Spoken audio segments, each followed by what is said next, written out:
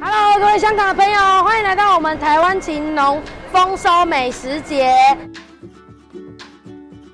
这一次上的菜呢是采茶饭，主要是铁观音烟熏的鸡腿，还有铁观音红茶卤的豆干，还有包种茶做的寿司，烟熏蛋的寿司。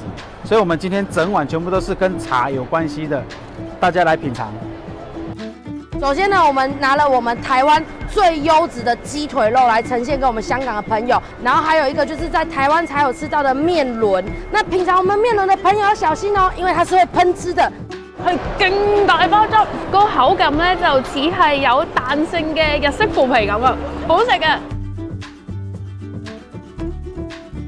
由於係台灣稻米做主題，所以全部攤位都係賣各式各樣嘅飯。呢個飯係由好多種菇，再加竹筍菜脯等。個口感係誒好豐富，喺個口嗰度咧，索索索索咁嘅。農場自家醃製嘅泡菜，再加山豬肉做嘅香腸，配烏龍茶茶葉蛋。至於呢檔嘅店員話，佢哋嘅蔬菜係同台灣農民直接購買，豬肉咧獲得台灣嘅安全認證。飲品方面，蝶豆花最靚，紅茶個樣普通，但係飲落有陣蜜香同花香。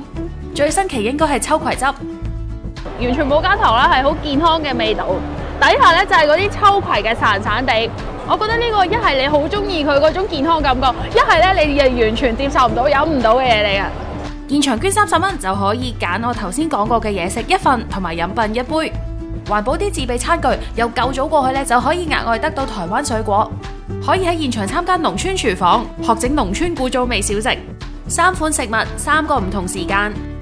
紫米飯團、起司南瓜蛋、綠豆糕。現場仲有打卡位，俾你扮農民。仲有台灣農莊民宿旅遊資訊。